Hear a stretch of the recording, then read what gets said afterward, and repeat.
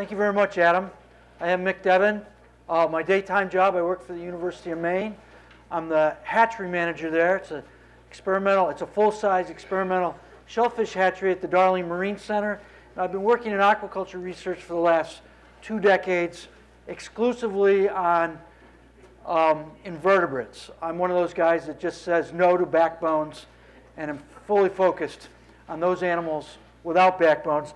So I have a lot of trouble relating to animals with backbones, including Homo sapiens. Um, I also just got elected in my third term in the, in the legislature up in Maine, and uh, I have in the previous two terms, thank you, I'm actually a uh, blue oasis in my county back in um, Maine, it's Lincoln County, I'm a blue oasis in a sea of red. And um, I have uh, sat on the Marine Resources Committee, and along with my colleague from York, Maine, who was uh, just elected to her second term, Lydia Blume, will be leading a uh, a workshop with some other legislators from New Hampshire and Maine and some regulators looking to establish marine priorities in the Northeast from 2017 and beyond. And we'll be looking for your input as to what those, what those um, priorities should, should be. Uh, Mick, would you Yes. be up for doing two sessions? Wait a second. Are we up for doing two sessions? Uh, well, we've got two slots, so you could do it in both slots in case somebody wants to go to a Yep. different one at, She's saying yes. okay. Just say yes. Okay. So, um, the Maine coastline is, is under threat. And as we talk about the Maine coastline, if you take from the east, the eastern seaboard from Florida up to Maine, which state has the longest coastline? That's a pretty easy question to answer, Maine. If you take Maine's coastline and you stretch it out, it's 3,500 miles long, or more than the rest of the Atlantic eastern co- coastline combined. Um, and we are very dependent upon our commercial fishing, uh, which is valued at over a billion dollars annually. And just to put things in perspective, the biennial budget of the state of Maine is six million. So to run the state annually is three billion dollars, and our commercial fishing is, is worth in excess of a billion alone. Our aquaculture industry is uh, in trouble as a result of changes in the Gulf of Maine, uh, particularly ocean acidification, our recreational fisheries, our tourism, and then all those ancillary industries that go along with that. Boat building, um, feed and bait suppliers, uh, commercial diving, on and on and on. So one of the uh, organ- one of the animals that we produce uh, in Maine is uh, urchins. I mean, excuse me, uh, oysters. Uh, we, we do well. We have a we have a wild urchin fishery. We are working on urchin aquaculture, but it hasn't been commercialized yet. In 2013, I put in a bill, LD 1602, which was to establish an ocean acidification uh, commission. I'm actually, because of the time crunch, I'm going to try to slide through a little bit of these fairly quickly until we get to the, to the meat of the talk. The commission was made up of five legislators. I was one of the co-chairmen of that.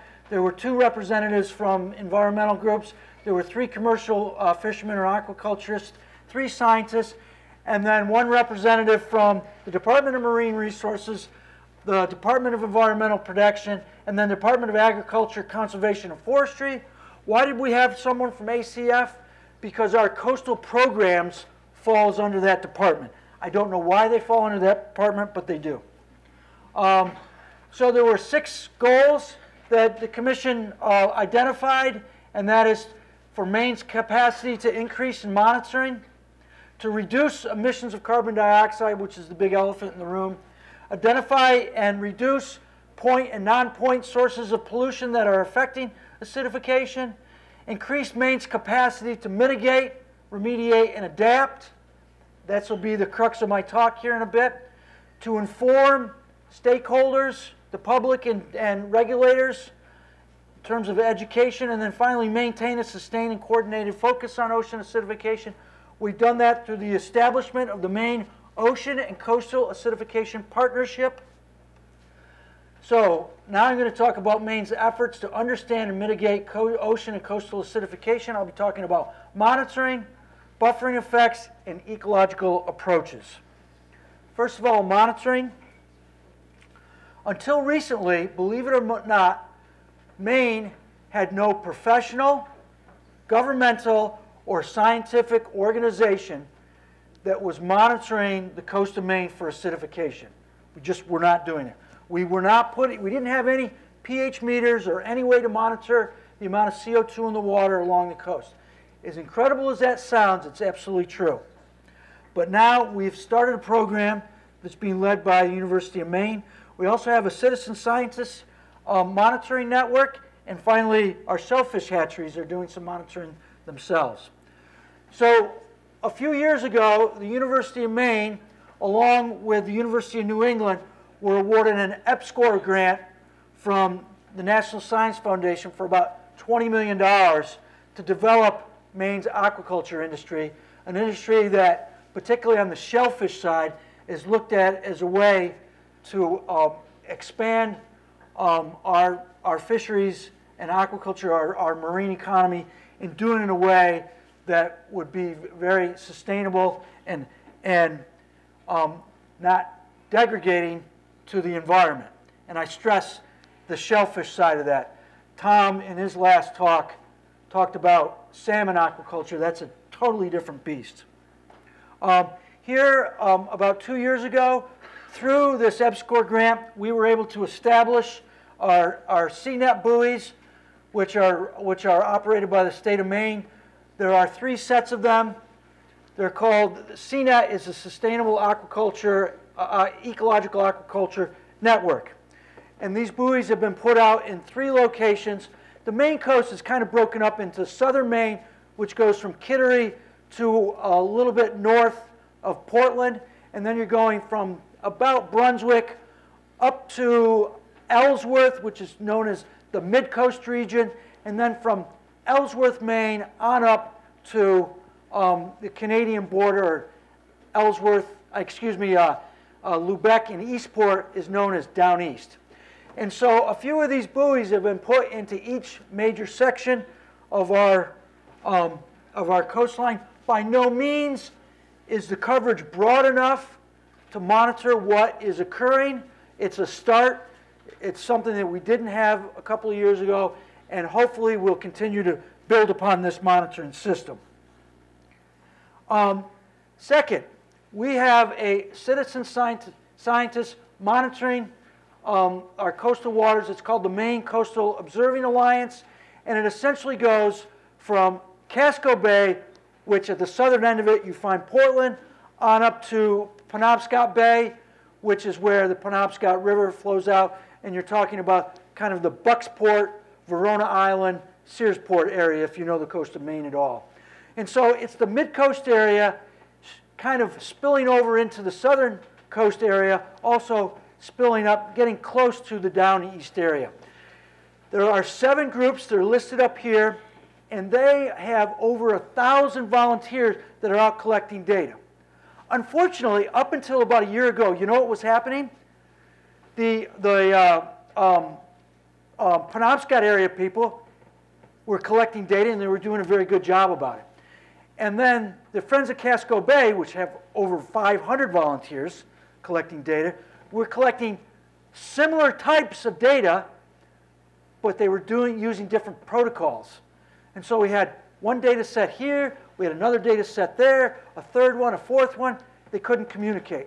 So what we've done is we've established this Maine Coastal Observing Alliance. All the volunteers are now, util we're utilizing similar sensors, and the volunteers have been taught to use the same protocols, whether you're now collecting um, down in Portland or in my area of the state, say Damariscotta or Bristol. And, and now, we're now, we've got seven smaller data sets, but they can fit and they can mesh into one larger data set, which will ultimately be used by modelers to uh, help us with uh, um, how we may mitigate or, or adapt or use remediation to, to address acidification. I'm going to be talking about a lot of different steps that Maine is taking today, but there's really only one that is in active use. This is Bill Mook. He has Mook Sea Farms. It's on the Damariscotta River in the small village of Walpole. I'm sorry, did someone say something? Okay, I'm sorry, I was confused. Um, next to Bill is a woman named Meredith White. He's recently hired out of Bigelow Laboratory for Ocean Sciences, world renowned. Meredith actually sat, both Meredith and Bill sat on the Ocean Acidification Commission. Very bright people. Um, between them is a, is a uh, piece of gear developed by uh, Dr. Joe Salisbury at the University of New Hampshire. And Bill is using one of these to, um, to collect information in the Damariscotta River on pH, uh, the amount of CO2 in the water, and a whole series of other parameters. And what Bill does, he runs a shellfish hatchery. He supplies oyster seed from Maine all the way down around Florida, through the Gulf of Mexico, and over to Texas. Maine is very known for our hatcheries. We have, in terms of water quality, we have the highest water quality from here to Galveston, Texas. Consequently, our work and the, and the seed shellfish that we um, produce are prized. In my world, on the research side, there is a con conglomerate of researchers that work from the Chesapeake up to the Gulf of Maine. The Darling Marine Center shellfish hatchery that I manage, if, there, if there's a project in which we're going to put oysters, oyster seed out, say in Maine, Massachusetts, and Cape Cod, and then down off the New Jersey coast and also in, in um, the Chesapeake Bay, guess where those oyster, seed oysters come from? Maine produces those. It's something that we're, we're very good at. So how is Bill addressing the ocean acidification that is already we're seeing in the Damariscotta River? The Damariscotta River is, is not one of our great rivers like the Androscoggin or um, the Penobscot that has a, a huge watershed the Damariscotta River is being fed from Damariscotta Lake. It's, it, is an ocean, it is an oceanic river. It's, it's totally flushed every six hours, and um, it has salinity in the range of 32 parts per thousand all the way up into Great Salt Bay, which is where Damariscotta uh, Lake spills out into. Um, so he is seeing decreased acidification. The hatchery I run just down the road, we're seeing increased acidification. When we have um, large rainfall, we will have episodic events which dramatically change our water chemistry and quality. So Bill is monitoring that. And prior to coming to this conference, I asked Bill, you know, what are you doing? What can you tell me? He said, Mick, essentially what I'm doing is continuously buffering. And then when we have an episodic event resulting from large rainfall, he will actually shut down his uh, intakes and go into a recirculating mode. Okay, switching over to buffering experiments. We've, uh, we've had a lab study done along with a, a, little bit of field work. The lab study was done by Mark Green at St. Joseph's College. And what he found was that um, using shell hash, ground shell hash from clams, that it increased the survival of newly settled shellfish. So you have veligers, that bivalve larvae are called veligers. When they settle, they settle normally, they're about the size of two to 300 microns, which there are 1,000 microns in a millimeter. There are 1,000 millimeters in a meter, so there's a million microns in a meter. For those of you stuck in the English system, there's 25,400 microns in an inch. So these animals are quite small when they settle. And from that size up to about 1 to 2 microns in, in length, or a little under an order of magnitude, it appears as though shell, hatch, shell hash does increase survival of these newly settled organisms. Once they get to that one to two millimeter size, it appears as though they're growing fast enough and precipitating shell at a greater rate than it can be dissolved relative to the pH um, levels that Mark Green studied in the lab. So that's, that's good. That's a good sign. Now let's talk about the field work. The field work was done by Dr. Brian Beal from the University of Maine in Machias, which is down east. Um, and he runs the Down East Institute. But this work was actually done in the northern end of Casco Bay, which I said earlier, the southern end is where you find Portland. This work was done up near in the um, Harpswell and Freeport area. So he looked at, he looked at using shell hatch um, in two areas, or two ways, either plots that are 10 by 10 feet or in little potted plants that are filled with sediment and then dug into the sediment so that the top, the rim, the brim of the pot is equal with the sediment level. And, and the, uh, the circumference of, of the, those um, plant pots were in the range of 10 to 20 centimeters. So here's some shell hash that was used. Another photograph of the shell hash that was used in this experiment. This is Dr. Beal's uh, experimental design. He's got uh, six treatments and five replicates of each tr treatment. So you've got, you've got one set is no shell hatch in a plot, 13 pounds of shell hatch, or 26 pounds of shell hatch. And then the other three treatments were covered, they were protected with netting. Here is uh, Chad Coffin. He is the president of the Friends of uh, uh, the Maine, the Friends of Maine Clammers. He's tossing shell hatch into a plot. Here's a plot that's got either uh, 13 or 26 pounds of shell hash on it. Um, and so what did, what did uh, Dr. Beal find? I'm not sure what happened there. We just hit escape. Okay. So what, what he found was that increased settlement and survival occurred in those treatments that were protected. And that there was no difference between whether there was shell hash or the low volume of shell hash or high volume. So the buffering did not seem to make a difference. It was the protection of the netting above. And in fact, an example of that netting would be you see the, see the brown wooden boxes and that netting above. That would be an example of protecting via, via netting. So he said, well, let's go ahead and this summer, let's go ahead and rerun that experiment and see if shell hash size makes a difference. And so he looked at three ranges, which were 10 to 20, 5 to 10, and 1 millimeter shell hash. He also took the Pacific oyster and ground that up to 1 millimeter size. So he had four treatments. Those were then also tested compared with um, uh, protection with netting.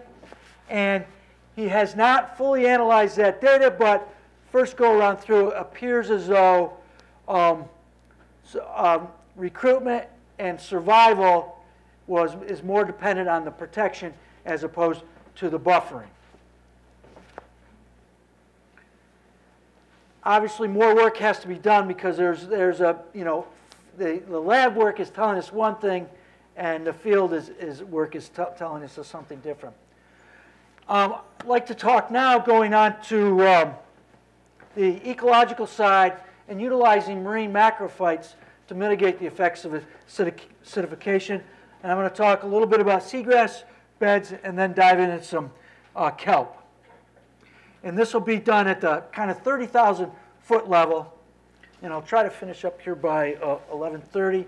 So the, the idea with phytoremediation is that um, any sort of organism that is, um, is going through photosynthesis, whether it's a microalgae or the large uh, macroalgae, such as here there's a, a, cartoon of sugar kelp in the center there hanging down, and you've got some rockweed in the middle, and then you've got eelgrass um, in the bottom right-hand corner. They are, are storing carbon. They're, they're fixing and storing carbon. So, and microalgae does that as well. Unfortunately, microalgae has a very, very short lifespan and ends up, it'll absorb that CO2, it dies, it sinks down, and the CO2 and, uh, is released as it rots, that carbon is quickly released. And so microalgae is probably not the best use, uh, through, through phytoremediation is probably not the best example of a way to store carbon. However, these larger organisms, plants are. And if we look at, um, there was an experiment done Um, It was led by uh, Dr. Nicole Price at uh, Bigelow Labs. She worked with a company called Oceans Approved. There's a picture of Paul Dobbins, one of the principals in the company. And they took some sensors, and once again, they worked down in Casco Bay, and they took some samples. So in terms of eelgrass, and I wish I had a pointer, but um, if you look, I'll kind of dive over on this side. This, this is Casco Bay. This is Portland down here. This area up here, this is Harpswell. You've got Brunswick and the Freeport area up here. So what, what are we looking at with this green? The green are existing, are existing eelgrass blades. The red are where eelgrass blades, we know they existed about 15 years ago. This work was done, this work, this particular study was done three years ago. And so in this area, Broad Cove, they brought their sensors in and uh, they went ahead and, and, and, collected data. And then they went up to the Recompense Shores area of Casco Bay. So here are, are areas that at one point supported seagrass beds, but for one reason or another are no longer existed. And Adam, if you could just push that forward for me. Thank you very much. What they found in Broad Cove, um, the amount of dissolved oxygen had increased by 23%, and the pH actually increased by 12%. So seagrass blades and seagrass beds can affect water chemistry. And what animal lives in and around seagrass beds? Well, crabs, the green crabs, which we're not concerned about because they're invasive. Soft-shell clams is number one. Also mussels. Mussels settle on seagrass blades. They do not stay there. Once they get a little bit larger, they move on. But that's a critical life history phase of mussels. And if, so if the seagrass bed can improve water quality, we can, we can possibly see a bounce back of our mussels. Mussels used to be ubiquitous along the coast of Maine, and now we're struggling with them. We're struggling with them so much that one of the main projects I'm working on in the lab right now is developing commercial scale culture techniques so that we can supply mussel growers around the state. If we go to the next slide, please. All right, so this is a good friend of mine, Tollef Olson. He was working with, um, with uh, Ocean Approved, um, growing uh, sugar kelp down uh, in, in Casco Bay, uh, a bit closer to, um, closer to Portland than what the seagrass um, bed study was done. So if we, uh, next slide please. What we found is they, they looked at inside the kelp farm and outside the kelp farm, they looked at water quality and we're looking for what's known as the halo effect. So we're not expecting kelp be changing water quality a kilometer down the road. We're just looking in the vicinity of the kelp, the, the kelp forest, or in this case, the kelp farm itself. Um, so your green uh, data points are inside the kelp farm, outside the kelp farm is black. Adam, if you'd move forward. And unfortunately, this is cut off, and I apologize for that. But what it found is there was a 13% improvement in pH. So we moved, we, the water inside the kelp farm was more alkaline than the surrounding areas. And also, um, I think it's, can you read on? I think it's an increase in 22% of dissolved oxygen. You can't read it down. I'm pretty sure increased um, oxygen was about 22%. Both significant, statistically significant. So these are just the kelp, uh, these are um, these are the, start of kelp, what they, what they start out as. If we go to the next slide, we'll hold there. So kelp, what species could be grown with kelp? Mussels could be grown with kelp, very good. Another one are oysters. Our oysters, um, you know, most oysters are grown on the surface. You can at some point shrink them and uh, I mean, sink them and grow them on the bottom. But um, so, but you could raise oysters right inside the middle of a kelp farm. Water quality is improved, thus you're going to get uh, faster growing, healthier oysters. I think I can be over here from now on. But th thank you very much, Adam. This is a photograph of, uh, this is uh, Schuyler Bell and her son Tor. Uh, They're working off of, of uh, Boothbay, and I don't have much to report on this, but they have worked on an experiment where these are lines that actually have kelp that have kelp that have seeded onto these thin line, very thin lines. And what you do is you just stretch that out, and the kelp, the kelp then grows off of it. This, um, the um, sewer system, wastewater treatment plant in Boothbay eventually feeds out into Boothbay Harbor. And the question was, can you use kelp to further im- uh, improve the, um, the water quality coming out of, coming out of your uh, wastewater treatment plants? And I have not seen any data yet. I have, was at a, a recent MOCA meeting um, past Tuesday. This was talked about very briefly. Dr. Larry Mayer, who's a chemical oceanographer, world renowned uh, at the University of Maine and works at the Darling Center, same place where I'm employed with my daytime job, um, stated it looks like there's potential here and that just a rule of thumb of what people are throwing out there, and, and this is anecdotal, is that if you are going to look to improve the water quality of a waste of, um, of, of water of effluent coming from a wastewater treatment plant, that you would probably look to have a kelp forest that is roughly the same size as that area that the wastewater treatment plant is, is supporting. So if you're looking for a village that is one square kilometer, people are talking about developing kelp forests that are about a kilometer squared off of where that effluent is being fed into that marine environment. And I apologize, I don't have much more to say about that. I just wanted to make you, make you aware of something else that is, that is happening in Maine. So uh, the take-home messages here are um, Maine must increase monitoring to understand what is occurring and to provide a solid data set to create the models that we need to move forward. We're, we're not at that stage yet where we can create those models. Um, buffering shows potential in the, in the lab, but field trials to this date um, have not been successful. And the, and the potential for bioremediation, which should be at the bottom of this, and I'm not sure why it isn't, but, and, and bioremediation shows a lot of potential, both in terms of using it ecologically with, with seagrass beds, to using it in aquaculture with, with the farming of kelp combined with mussels and oysters, and also looking at, looking at water quality improvement coming, coming out of wastewater treatment. These are the folks that uh, have helped me put this together. They either did the research or were uh, um, I consulted with to create um, my talk for you today.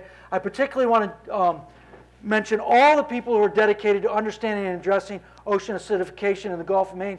And some of you people are sitting here today, and I want to thank you for the support that you've provided us thus far, and, I, and I'm sure that you'll continue to support us. And I'm going to leave you with one thought. and I know you're laughing, but people do not come to the coast of Maine to eat a chicken sandwich. And in that one small statement, it says, we need to manage our fisheries. We need to protect our coastline. We need to protect everything about our marine economy. Because I'll tell you what, if we can't serve them oysters and clams and lobsters, they're going to go somewhere else. And that comes, that's true for Massachusetts, it's true for Rhode Island, New Hampshire, all of us. The tourists do not come to our coastlines to eat a chicken sandwich. Thank you very much. 30 minutes.